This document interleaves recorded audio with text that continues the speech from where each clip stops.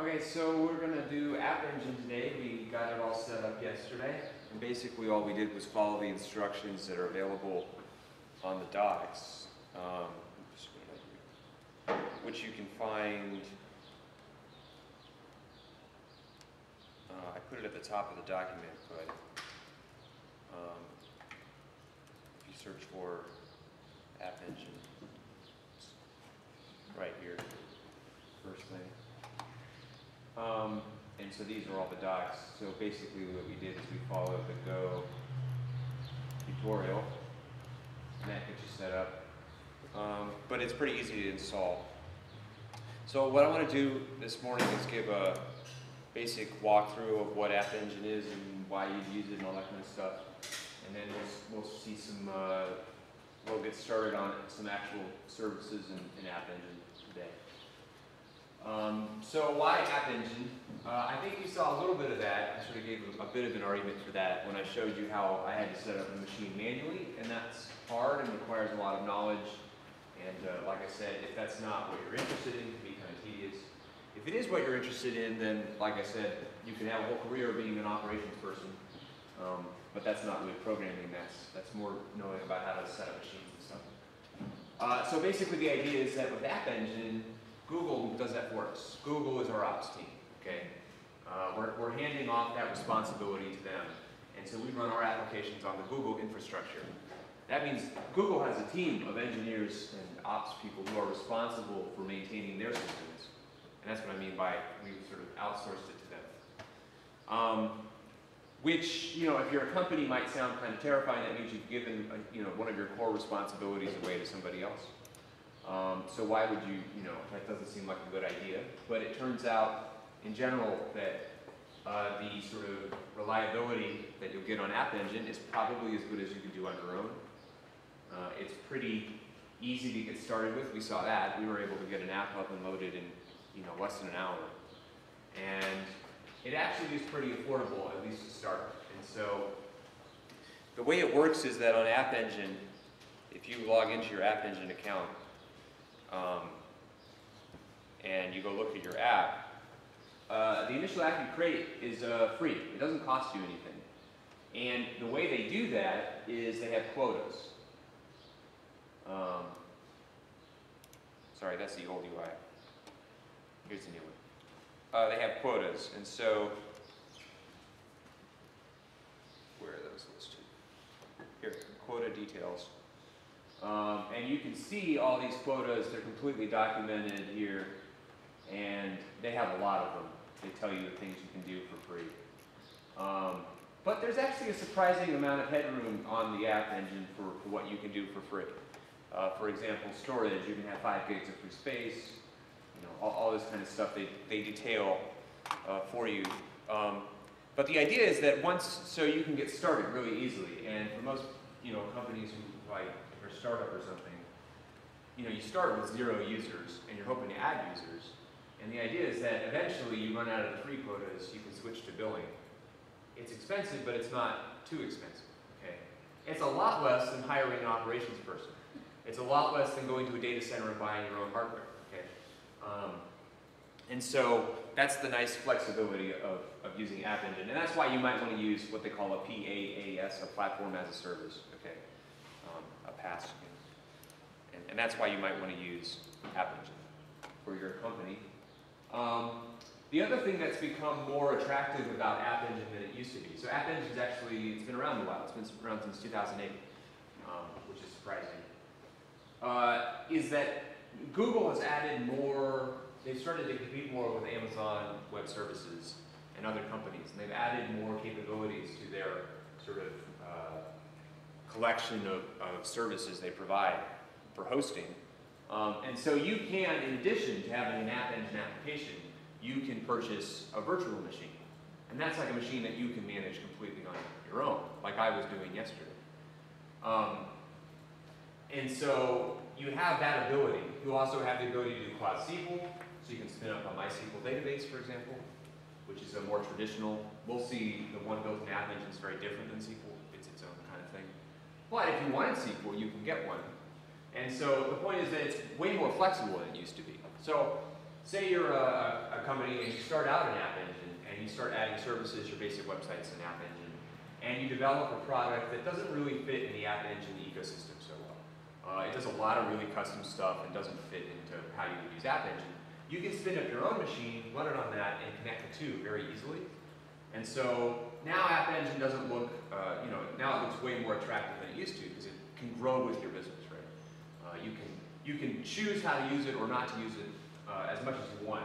And so that's a really cool feature that didn't used to be there. Um, and that's kind of what sets uh, sets App Engine apart from other similar platforms as a service, is that flexibility. Um, and so uh, we're not probably going to do any of that, but I just want to mention it that it can do that. Um, so how does App Engine work? Uh, they have a document on here which is really interesting that talks about that. Um, if I can find it. Maybe it's in this handling requests. Um, but the basic idea is that App Engine is uh, what they call sandbox. Okay, which is a nice colorful name. Uh, and the idea is that uh, you, you, it runs like regular code, but you're limited in what it can do. It can't do everything a regular computer can do. The App Engine sandbox is a sort of safe environment, right? Like for a kid, you put him in a sandbox. He can play and make things, but you know he can't go outside the sandbox. Uh, similar idea for, for us. So there's some restrictions in what you're allowed to do. In particular, you can't use the unsafe package. We didn't talk about unsafe, uh, but some advanced stuff in, in Go you'll do with unsafe, uh, which is a great name for the package, right? Contains operations that step around the type safety Go programs. Uh, and so you can do things like transform a Go pointer into a pointer to an arbitrary type and then convert it back again. Um, so this, this allows you, uh, so Go code is safe. It, you're not allowed to like uh, um, go past the end of an array or something. Uh, but you can do this and then you can't. So if you use the unsafe package, it's like go back to the way C did things and you can do anything you want. Uh, why would you want to do that? There are some reasons why you might. Uh, sometimes you don't have a choice. If you have to interface with the C library, you kind of have to. Um, uh, other, other things you can do that are, are kind of neat is that you can, if I have a, a byte slice, I can like convert it into a slice of floats or something without actually copying any data by bypassing the type system by using unsafe. But we didn't do any of that. We're not going to do any of that. But the point is you can't do it in App Engine because you're in the sandbox, it doesn't let you. Uh, other restrictions, ones that we might actually run into, you can't write to the file system, it's a read-only file system. So we can't write files in App Engine. But that's okay because you're not supposed to anyway, you're supposed to use cloud storage.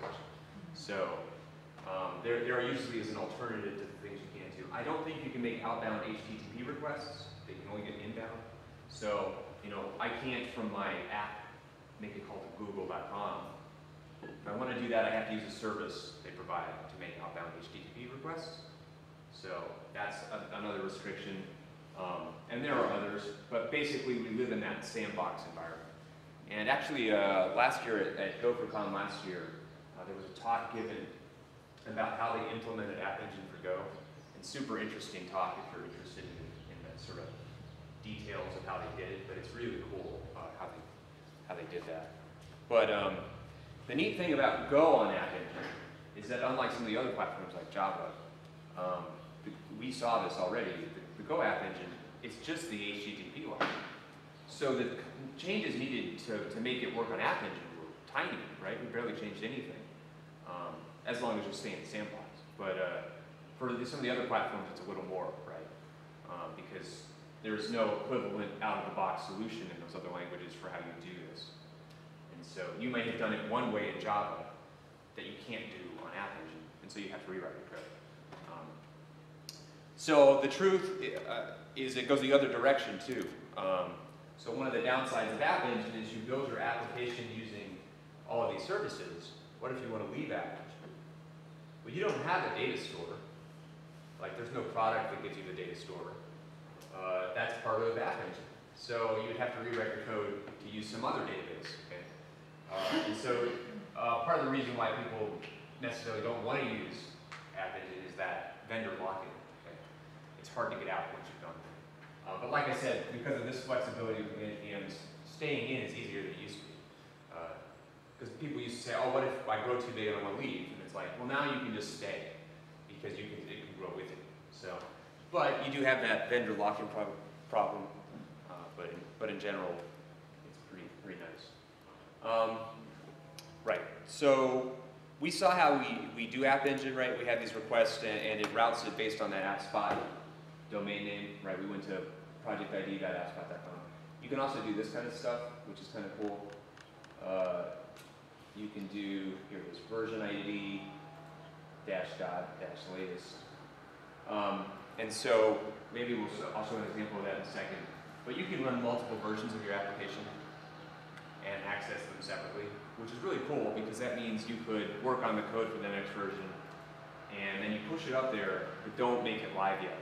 And you can play around with it and then switch to it uh, with, with the UI. Uh, and it has some other features like that, uh, and they detail all the, the kinds of things you can do. Um, but in general, we should just be able to use HTTP and it'll be all good. Um, and we saw how the apps are laid out, right? So we made a folder. Inside that folder, we had an app YAML. And this is what App Engine uses to know how to route traffic to your application. Um, and so the first thing is the project ID, and we saw how to get that. And then the version. So if you change the version, it would show up and we list um, in here. Is, versions. Um, and so you'd see another one in here. Uh, so maybe we'll do that in a second. But, so you can have multiple versions of your app running and you can switch between them. You can only run one at a time, but, uh, as the main one. Uh, but, uh, and then you have runtime Go and then API version Go 1. So those are just pretty much canned values that you should be using. Because like I said, App Engine supports Python and Java as well, but we're using Go. Uh, and then you have this handler section, and in here you can define various routes. So this is meaning everything basically. And they all have this special script colon underscore go underscore app. And that means use Go for these URLs. So I could put in there other URLs, you know, uh, and they have some examples in the docs. Um, and so, you know, you might say, uh, you'd probably still make this a Go app, but maybe you'd add restrictions on who can access it or something. Uh, and we'll see how to do that later. Uh, so in general, we, we don't mess too much with the YAML file, but sometimes we have to add stuff in here. You can add static file handlers, but like I said before, you can just use Go to do files, and it's no real big deal. Uh, but either way, we can do that. Um, but, but we don't spend a ton of time in here. Uh, just make sure this matches what you want it to be in the, uh, in here, right? This, the same application up here. Um, And then, so we have our YAML file, and then right next to it, we'll have a bunch of Go files. And the package here doesn't matter, it can be anything you want. You can just leave it as main, um, that's what I did. And then basically all we did was we got rid of hand HTTP listen and serve, uh, and put our code in an init instead of in the main. And then uh, that was pretty much it. All the rest just kind of worked. Now there's a bug in this program, but I'll show you how we can determine there was a bug. Um, okay, so I saved that code and I ran go app serve to see it locally, and I ran go app deploy to push it out to App Engine. Okay, um, and then it was accessible by going to this ID dot .appspot.com, which we saw. Now mine has a problem. You get a blank page. If I open my uh, the development tab down here, you can see I get 500. So that's not good, right? So there's obviously a bug in my program. You're a good man, Paul. It's Friday. You are a good man. Thank you. No, thank you for being here and informing us with all your knowledge. I don't know. I, I see a contradiction because he's doing nice things and bringing coffee, but he's wearing a Darth uh, Darth Vader shirt. Sorry, some of us are on the dark side. knew that Darth, Darth Vader is such a nice guy? So uh, we get this uh, 500 error, which is a problem. So how can I find the details of why I got this 500? Because if I look in here, I don't see anything interesting at all. All I know is I got a 500. And the reason why I'm not seeing anything is because this is not 500 I generated. this is my program crashing.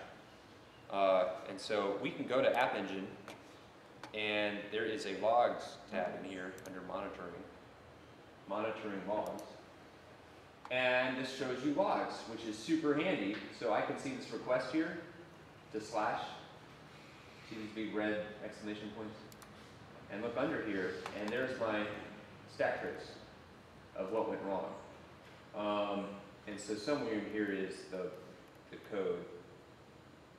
Uh, handle index. Yeah, hello.go line 31. That's little hard to read. Uh, yeah, and stack traces are a little hard to, to digest, so we'll be just talk about how you do them.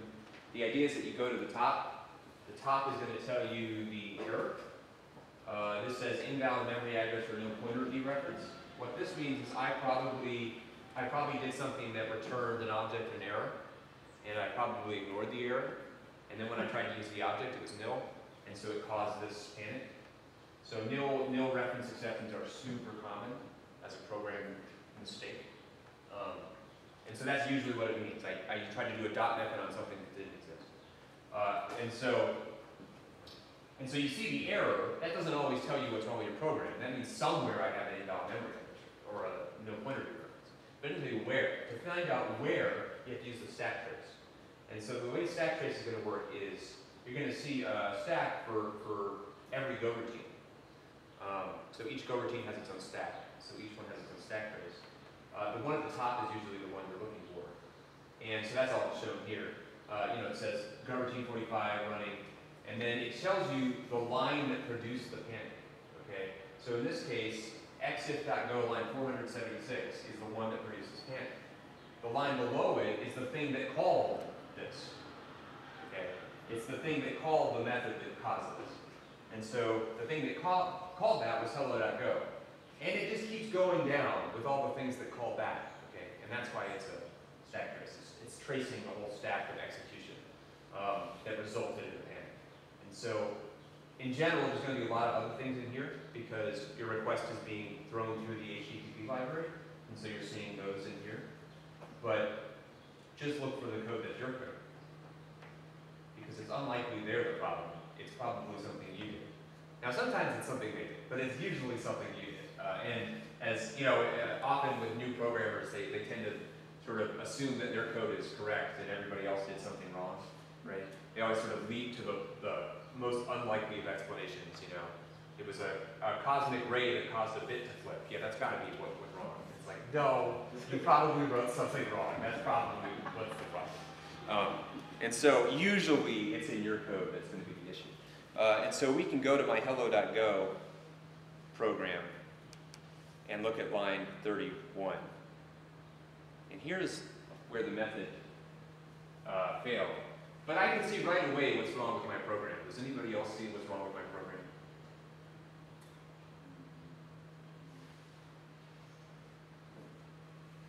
Uh, I'm referencing a file on my file system that does not exist on AppEngine. Because it's an absolute, this isn't in my project, it's not inside of here. It's on, you know, it's in my downloads folder. That's not correct, right? This should be somewhere inside of my project. Because when I push this to App Engine, it doesn't push all the files on my computer to App Engine. It only pushes this folder. So when it tries to access this on App Engine, it's like, that doesn't exist. I ignored the error. So this ends up uh, being nil, passes it here, and it doesn't actually result in a panic until you get here. But this would have been a problem too, if it had gotten there. But it failed before it did, because this happened first. Um, so we can fix this program. So what I'm going to do is in day five, I'm going to copy this Hello World program into day five. Just paste it in there. Um, so now I moved it over here. So let me close these so we don't accidentally add the wrong one. So here's a neat thing about this is that if you keep the same application ID, it'll overwrite the old one. Um, so that's kind of cool. So we can just edit this one and change this. So what I want to do is uh, I'm going to move this file into the project. So I'm copying that. And then, um, where am I? So we need to go to day five, whoops.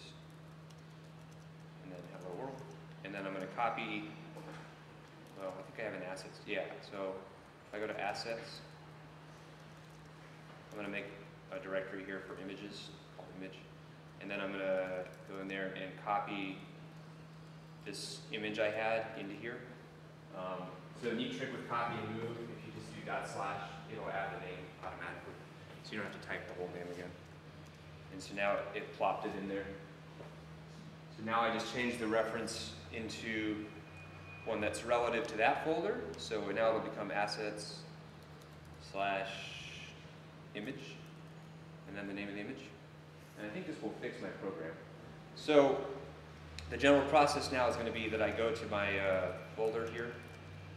Uh, back. So I'm in Uh, get out of the combo and we'll give you an example. So, um, so Caleb, when you, when we upload this to App Engine, it's the whole day five folder that you'd upload to? No, That's no, considered your whole project, or the, this one. oh, the hello world, okay. Yeah. And so now, the first thing you do when you're debugging an issue like this is you test it locally. Uh, is you do go app serve, and then I will hit localhost 8080. Okay, so that seems to be working locally. And then I say go app deploy, but actually I'm going to do something different because my go app deploy doesn't seem to be working. Going back in time here. Okay. Um, but you could type go out. By the way, that app config pi update dash co-op two is in that link of useful web resources, which I've shared with everybody. And, uh, and if go app deploy doesn't work, that's a really good little line of code to know. Yeah, I'll, I'll paste it in here. Um, Cause I've hit that a couple times too, I'm like, what? I don't know why it doesn't, it's supposed to do that by default, but for some reason it's not. Yeah. So instead of typing go app deploy, you can type this, which is all it's doing. And that, This OAuth 2 makes it use OAuth instead of having to enter your email and password. um, but I know like Paul's computer just did it right properly, so I don't know why in mine it's doing it wrong, but. And I've, I've had it sometimes do it a long way and then switches and then switches back. Uh, but, it, but anyway, what it'll do is if you haven't logged in yet, it'll make a link, you click it, you press say yes, and it does the rest for you. Which is great, you don't have to enter an email or password or anything. Um, okay, so I deployed it, okay? And you know, it tells you how it's deploying it. Sometimes this can take a little while, but it was pretty quick this time. Um, and we can reload over here. And it should be fixed now. Okay, see, I fixed it. Um, so now it works over here, okay? So that's the general process. You might look through the logs and App Engine, you might do whatever you're gonna do, and then you go back to your app, make the changes, test them locally, redeploy, okay? And that's the general flow. Uh, what's missing from that flow that would be more, more typical is we're not using Git, and we probably should be using Git. So the process would be more like pull away this version, make the change, test it locally, if everything's good, commit it, push it to GitHub, then redeploy? Also, in addition to that, a lot of companies do code reviews, and so then the process would be make a branch, make the change, commit it, push it, get it code reviewed by somebody, merge it into master, then redeploy, okay? And so you just sort of see the adding the layers of, uh, for a bigger company, that's what you would do. But the same basic process is, you know, find a bug, fix it, redeploy, okay? Um, so does everybody understand that? Any questions about that process? Awesome. Yeah, and so that's, that's, you know, in practice, if you're like, I have no idea what's wrong, go to the logs, probably tell you. Uh, other rules about as far as bugs, um, sometimes bugs are new and nobody knows them before. Usually bugs are the result of something changed. And so if you're wondering what went wrong, why is this broken, start at the most recent change you made. That's probably why it's broken, okay? And you sort of work your way backwards from there. Now, like I said, sometimes uh, errors have been there for years, right? Uh, and that nobody noticed them before. And so then looking at recent changes isn't going to help you. But um, that's unlikely. Uh, but that does happen. My favorite thing about that is often, um, you know, if you have a, a big team or something and maybe you have a project manager, somebody who's submitting these issues. Uh, It's funny sometimes, they'll submit an issue like that and say, urgent, gotta fix it right now.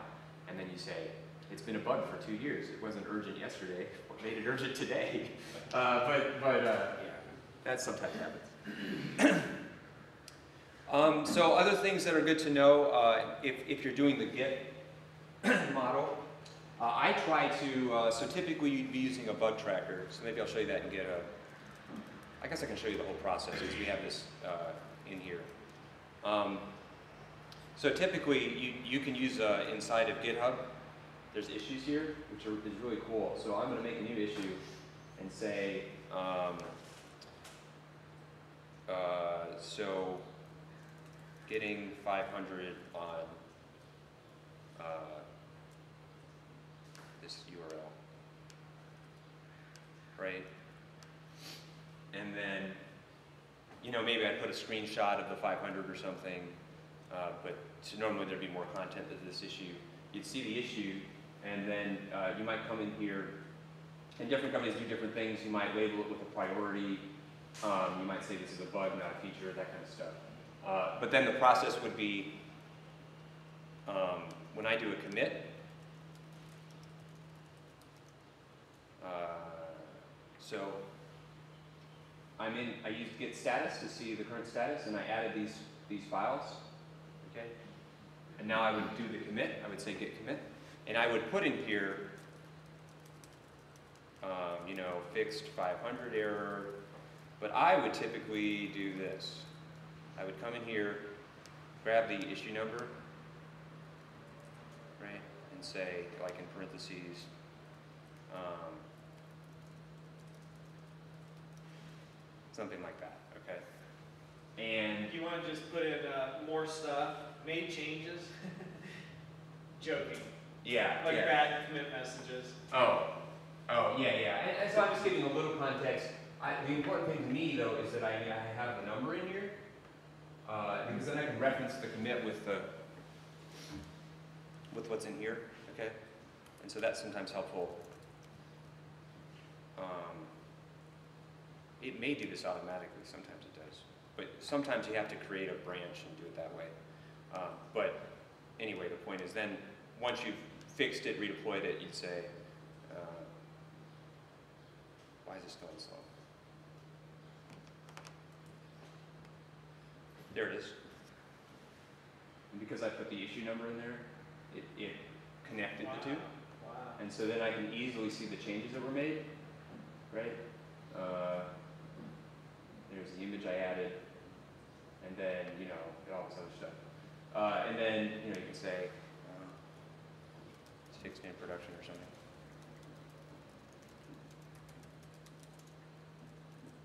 Uh, an image. You know, it's sometimes nice to add why it was fixed, you'd comment that, and then you'd close the issue. Um, So that would be the general process. Um, and the nice thing about the issues here is you can have code reviews, uh, and so, you know, you can use um, thumbs up. It's like if you're doing a code review, you know, like, looks good, deploy, you know. And then, and then if you, if you did that, you would see in your, you're good to go. Uh, and so that's if you're, if you wanted to do a code review. Um, because they could see the change, right? And then you do the thumbs up, and then you say deployed.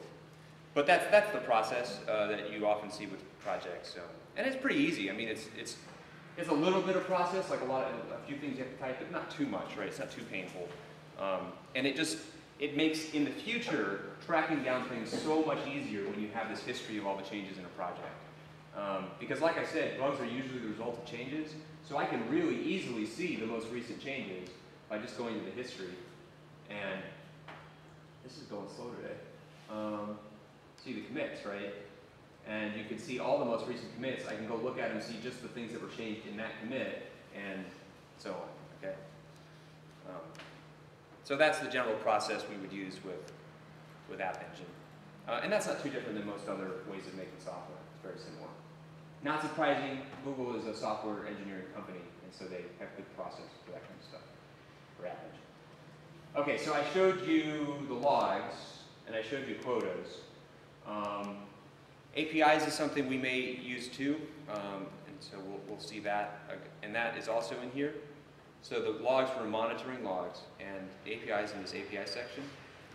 Google has tons of APIs, and they've been doing this effort, and they're mostly there, of trying to unify all of the APIs into one place so that you can really easily uh, use them. And so, for example, if I wanted to use Google Maps, um, and so I say I wanted to embed a Google Map on my on my app, I would have to go to Google Maps Embed API, say enable. There, I enabled it. It has photos, just like everything has photos. And then you go to um, credentials, and you could create a new key. In this case, it would be a browser key.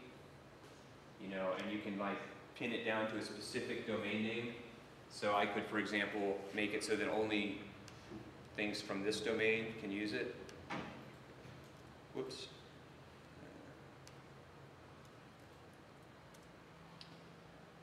And then it gives me this key, and that's the key I would use in my code, right here. And that's how you can do a lot of key stuff. So that's a general process where if you use an API that requires a key, a lot of APIs require a key because they don't want people to abuse the API. The key gives them the ability to tie accesses to a specific account. And so if you do too much stuff, they can block you, um, that kind of stuff. Uh, and most of those APIs will tell you that, uh, but all the Google ones you can generate from here. Um, we'll look at maybe an example of a third-party API later, uh, probably next week sometime. Um, because, like I said, that's a very common thing you have to do in web development is use a third-party API.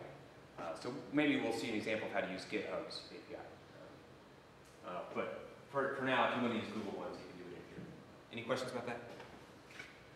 Um, yeah, so managing all the keys and stuff. and these, there's docs for all this. It, it just, sometimes it's hard to work through. Um, there's like 13 of these consoles, and they're all slightly different. Uh, but they're, they're getting better. Uh, they're, they're almost there. Like, this is almost easy. Almost. Until you have to do something that's not in this list, and then you have to go to another API console. I love this tour, this is awesome.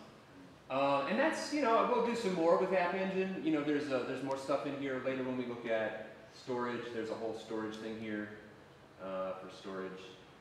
They also have the data store here, so you can browse around that guy. Um, so there's some cool stuff in here, but in general, that's what we're doing. And like I said, there's App Engine and then Compute Engine, uh, and that's if you're spinning up your own VMs. And there's a lot of stuff for that. Uh, but for App Engine, it's just this stuff here. So, cool. And remember, that's console.developers.google.com. That's where you get that console dashboard. Any questions about any of that? Okay, so App Engine is made up of lots of services. And so let's go to the docs just so we can see where that is. So this is cloud.google.com slash app engine slash docs, in, in this case slash go. Uh, and so the basic structure here is that there are all these services. And there's lots of these, and we're going to talk about a bunch of them. Um, and then there's this storing data, and this is where the data store is. So basically the idea is that mostly your app is Go code, HTML, JavaScript, CSS, and then your Go code is usually storing things in the data store and getting them back out again. So in most web apps, most of your work is done with the data store and then the front end code. Okay, and your your Go code is like the plumbing; it's connecting the two pieces together. Okay, it's making it so the front end can use the database. It's just going through and coming back out again. Um, I know you guys use Firebase, and that's a little different model, but uh, similar idea. The data store is going to be the App Engine Firebase, if you will. Um, but that's why it's in a separate section, because it's such a big deal. But all the rest of the services are down here. Uh, and the, the first service we're going to look at is users, okay? Um, so we already did user management manually, right? We created sessions and we, we didn't store an account, but we logged in with a hard-coded account in the source code. Um, but the uh, App Engine includes uh, great support uh, if you want to be able to log in users using their Google account. So you know how if you go to a Google service, uh, we did it with App Engine. Uh, you guys didn't have to sign up for a new account It just used your current Google account, okay? And that's a similar capability in App Engine. People can log in with their Google credentials, uh, and that's really easy to do in, with App Engine. So let's, uh, let's look at an example of that. So in day five here, I'm gonna create a new, I'm just gonna copy this app engine, app YAML, because I'm just gonna overwrite my old app. Uh, and I'm gonna call this, uh, users example. Actually, this is gonna go through a couple iterations, so here's the first one, users example one. Uh, and we create that new file. And then we'll have a main go in here. And like I said, you don't have to name it main, you can name it whatever you want. Uh, and so just an init function instead of a main function. And we'll just call this index. Uh, and so I'll make an index function.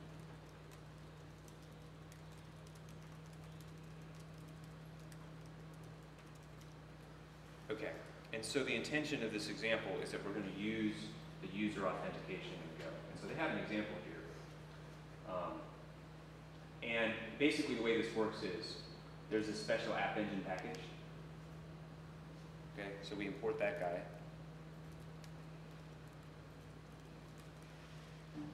And then I'm going to need other things too. Maybe it'll fix it for me.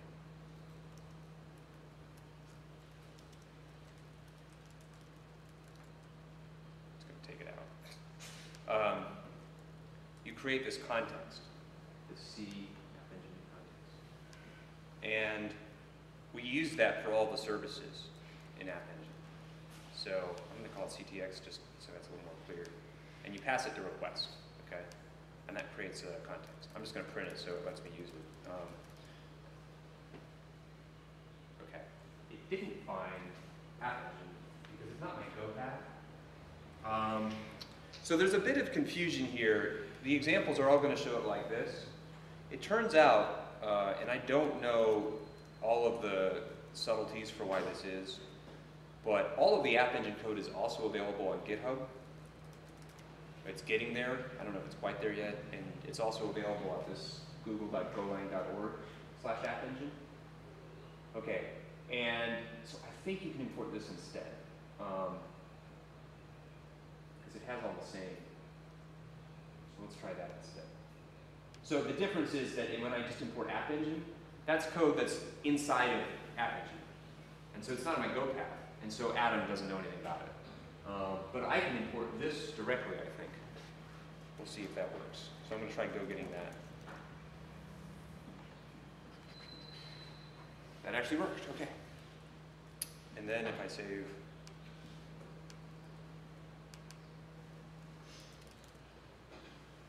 Cool. So just when you see the examples, just know you can also use this full, full path instead of just app engine, okay? And like I said, the only difference there is that it lets you, um, it works better with editors. And I think the same would be true in WebStorm, we got the same issue. Uh, And I think these are newer, okay? So I think there's a transition going on here from the older to the newer way. So we're adding features to these guys. Uh, But just know you can do that. And then, anyway. Or you can say import app. Uh, and then you say uh, new context, give it the request, and it gives you a context. Uh, and that's what we use for all the services. and the idea of a context is, It's a piece of information that travels along with all of the API requests. It goes with the HTTP requests. and It allows you to tie them all together. So for example, if I make a query to the data store, so I ask uh, to get some data from the data store, by using a context, it knows that that came from a specific request. So it, it sort of follows its way along the request, okay? Um, and that's useful, that's useful to know. It makes it uh, easy to sort of connect all the dots together. The other cool thing about context is they have the ability to have a deadline. Uh, and so say you're doing all these requests and you're making back-end calls and stuff, and you say, oh, I only want it to take 30 seconds. You can set a deadline after 30 seconds, no matter where it is in this whole lifetime, it'll then start to error out, come all the way back. So, um, so they use this context a lot. Now, in general, what we're going to do with it is we just create it and then use it for the service. we don't have to worry about what it's doing behind the scenes so much, but just know that you're gonna see this create a new context a lot when you work with Engine. Um, so to work with users, uh, if we go back to the example, and once again, these are just in the docs, uh, you, you do this user.current and give it the context, okay? So let's just see what this is gonna look like. Um, I'm gonna use fprintline to see the user. Oops, Sorry, that should be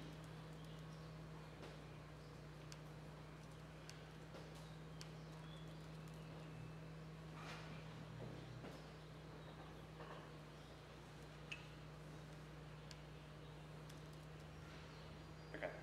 So App Engine slash user is the, is the, uh, package. And then you say user.current and you give it the context, and that will give you the current user based on the request. Uh, So it's getting that information from the request. Yeah. Yeah, Um, so when you are ready to deploy this app engine, when you change lines seven and eight and remove what you were referencing to work locally, to then push it up because, you know, I don't know. Well, we'll find out. I don't, I think you can leave it, but yeah. we'll find out. Um, but let's just see what this does real quick. Am I in the right? No, I'm in Hello World. So users example one. So go app serve. Start it and then no. No, because there is no current user. I haven't logged in. Um, so That's where it's doing this code. If user is nil, then get the login URL. Okay, so this is another method, uh, function on top of the user package, and it gives you a login URL. Um, so let's do that. So we're going to copy this, this bit of the code and see what we get.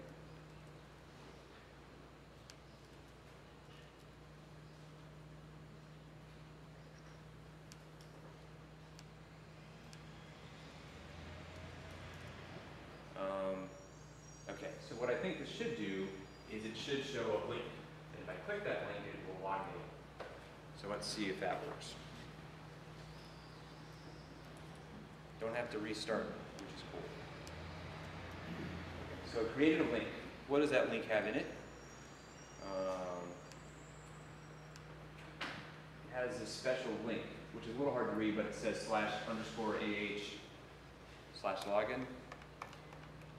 Now, on the actual App Engine, that would be a little different, but this is the development web server that's simulating App Engine, uh, and so that's what it'll be for local. And so if we click that, this is like a fake login page that the development web server gives us. In the real one, this would be like the regular Google login thing. Uh, and so we just say log in, and it takes us back, okay? So, just to reiterate here, see this continue? So when I click that link, it added this continue onto the end. That's how it knows to go back to our website. So it signs us in, it's gonna write a cookie and stuff. Uh, and then we come back here, it logs us in, we have test at example.com, that's what the user is now. Uh, and then if we look in our resources, cookies, uh, it added a cookie. So it. So it's doing what we were doing before. So it's doing it for us, okay? Managing session and all that, uh, which is great, means we don't have to write that. Um, so then let's do this final bit here, which is a logout URL. And I think it's just change this to CTX. Res. Okay, so all it's gonna do now, it, it creates a login URL if you're not logged in. And if you are logged in, so, because this return, if you are logged in, it creates a logout URL and it will show that instead, okay?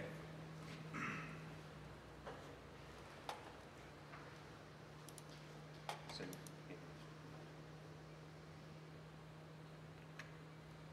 It, it did do it, it just didn't do it as HTML.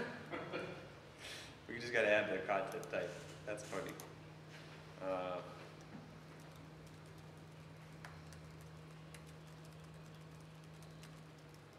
And that's because it didn't know it was HTML, because it didn't have a, a tag, so it's like, I don't know what that is. Um, there we go. So it said, welcome, you get the email, and you can click sign out. Now, when you're back out, it deleted the cookie, it's gone. Let me clear these so it's more obvious.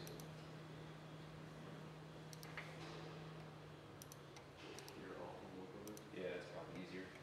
Uh, so, sign in, log in, and it has that, sign out. Everybody get that? Okay, so, and that was from the example, but I'll push this up, but, uh, yeah, create a context to get the current user, this can be nil, but if it is nil, that means they're not logged in, and so then we ask them to log in. And if it's not nil, we can give them a log out link by doing that, okay? So we don't have to create slash login pages, or slash logout pages, because those are being given by Google. All we have to do is look at the current context, user current, to find the current user. And we can, using that, we can know um, if he's logged in or not. Uh, and so if we go here to user the, sorry, this is the, so if we go to slash user, that's the package. Um, we can see all the details. So when you do current, it returns a pointer to a user. And so you have these properties, email, admin will be true or false, um, et cetera. Admin is a property of how you set up your app. Um, and so that's another benefit of App Engine. Like, it's based on your user information in Google. Uh, and so who's an admin or not is managed, right? It's managed through the, through this set of stuff here? And so you can add an admin and all that stuff. Um, So that's really cool. I don't have to create a special admin management page. I just manage it here. And then if they log in using, you know, their Google account, and I've added it here, they're admins. Um, Everybody following the basic structure here? Okay, so that's users. Wow, that's cool. Yeah, I, I mean, I think it's really, it's pretty easy. It's easier than what we were doing. Uh, the downside being you have to use Google logins, uh, which maybe is no big deal, but if you're like maybe a really big company, you don't want to know, you don't want people to know you're running on Google. Maybe that's the problem. Um, but if you if you're willing to use Google logins, it's fantastic. Right? So what do we do if you don't have, if you don't want to use Google logins? Anybody think of what you do? Do these, does Google login work on Firefox? I mean, Yeah. yeah. Yeah, it all, it all works, uh, it's just like using Gmail or whatever. Um, and it works on mobile phones and all that too. Uh, but what if you don't want to use it? Well, would you just have to do your own session management, Exactly. like we did a day or Exactly. ago? There's nothing preventing you from doing it yourself. Yeah. So I just sometimes when people are presented with this, like, oh, so I can't do my own, it's like, no, no, you can do your own. Nothing's stopping you from doing your own. It's just they made using theirs really easy, which you can understand that Google, they want to own your entire login process, but uh, just because they made it easy doesn't mean you can't do it the hard way. Um, so the other thing you can do here is in the YAML file, you can uh, specify whether a certain URL requires login. So let's try that. Um, here we go. So these are the handlers, and I can just add login required. So let's see what that does.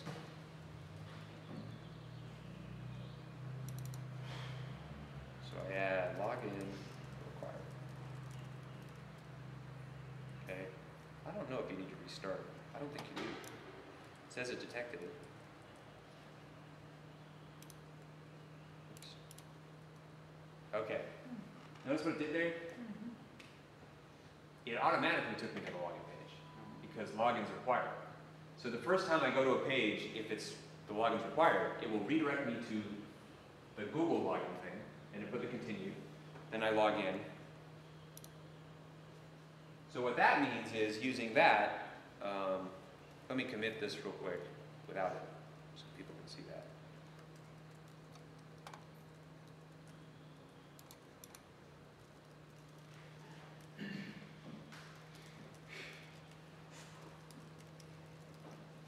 Um,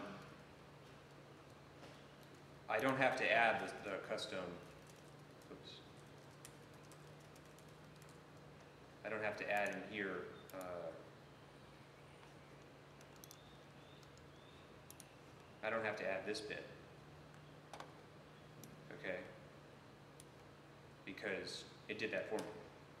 So I don't even have to create the login link anymore. Does that make sense? Yeah. It's like an injecting that code before this request. Um, That only works uh, on the YAML if you're using uh, App Engine login user services. That's right. So, if you want to do it through the YAML, you got to use Google. They used to support OpenID, and they apparently they still do, but they want to get rid of that. So, And probably should use OpenID it. would be logging with Google, Facebook, whatever. OpenID was a neat idea, idea, but I don't know, it never really took off. But yeah, it was like uh, you could create your own uh, provider, and there was a common protocol for logging in and stuff. But like I said, it's, it's basically dead, and they're deprecating it, and so, um, you know, why try to learn something that just gonna get rid of? Um, No, so if you want to use something that's not Google, just roll your own, which isn't that hard, it is annoying. but, um, But if you don't care, just use what Google asks, because it's easy. Um, and so, yeah, and so now we don't even have to create, we can sort of assume users are all, always logged in, because we said login's required. So it'll never get to our handler if they're not logged in. At least I think that's true. What happens if you hit? Oh, I stopped the server.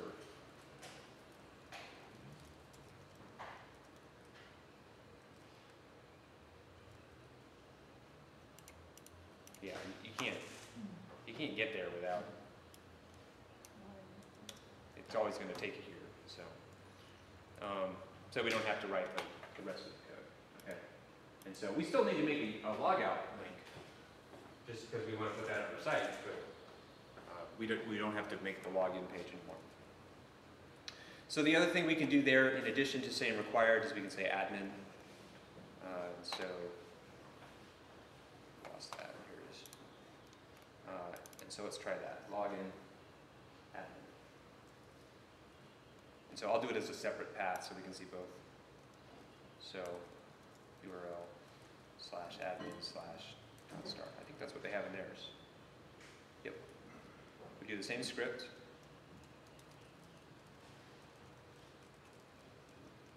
And then we say login admin.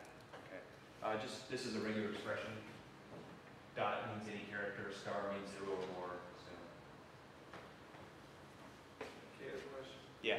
What, so the, the script, what is GoApp referring to? Because uh, It's like a call s- yours It's a special name they just created, and it means run the Go app. Okay, If for Go applications, it should always be Go app. okay, all right. Um, They got three other languages they support. so- Yeah, so it's just kind of a holdover that had more meaning in some other language. Yeah, so I think in the Python one, you could specify the file, but that concept's kind of meaningless for Go, so. Yeah, Um, so let's make an admin. Uh, Well, now we're going to see what you have to do, right? Um, because otherwise, it's going to go to index. Both of those URLs go to index because it's slash and everything matches slash. So we want to create one just for admin, and so we're going to make a separate function. yeah. Um, and so let's just do the same thing here. Welcome admin. Okay. Um, and so I just need to add the route here. And just uh, remember it ends with a slash, right? So everything inside there, not Yep. just that. exactly. Uh, and so now, I go to slash admin, it goes to this. But because in the YAML it says login admin, it only gets here if the user is an admin. So let's see if that works.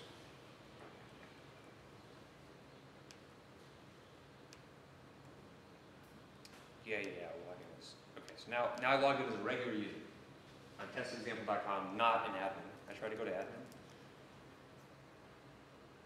I think it's supposed to require an admin. Maybe test by default is set as admin.